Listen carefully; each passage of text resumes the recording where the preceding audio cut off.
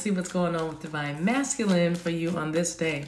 Remember, I do not follow you first. I do not contact you, solicit your business in the comment thread and any of that. The only way that we can work together is through my website, thedivinemaverick.com. So let's see what Divine Masculine is up to right now. Well, two cards. Ooh, very nice. So this is about a transformation. Butterflies are about a transformation.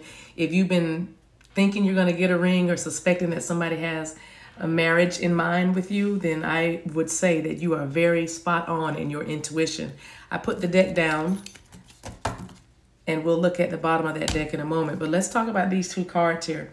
So there's a relationship here that has been going through some changes, going through some transformation. There's a relationship here that is about to go to the next level. It's really evolving to the next natural phase. So wherever you are, whatever that next natural phase is for you. If you've just met somebody, the next natural phase is for you to start to consistently go uh, out, do things socially, so you can see how each of you handles, you know, society and and different circumstances. If, if this is a relationship that you know between um, six months and two years. Um, the next step for you would be to you know get to know a, a, group of friends that that have something in common with you also to build your circle to introduce your family and friends and, and really bring that extended family energy in you know the outside in bringing now now you're ready to start to become public more outright with what you're doing. If you have been going through a lot of changes with somebody especially if they've been dealing with somebody else then this relationship is going to go into a, a, a, stronger commitment. Like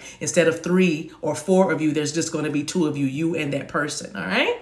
So let's see, healing the inner child. Also, this person that I'm picking up probably did have some trust issues, or maybe even still does. But there's something about you, your love, your the way you do what you do it it bring it has brought them out of their shell. This is somebody who has had to build up to this. And for some of them, they're building up to proposing to you. For others of them, they're building up to getting you some sort of gift, some sort of a token to let you know that they want to be committed. Or if they were to have it, if they wanted to be in a relationship, it would definitely be in a relationship with you. This is also somebody that sees eternity with you. There's something about you that they know that it can last forever. Come on, Keith Sweat, let's make it last forever. Anyway, this is about a partnership. This is about union. This is about true love and real love. So this is good energy for whoever this is for. And um, good luck to you. I'll be sending love and light. I know that's right. Bye.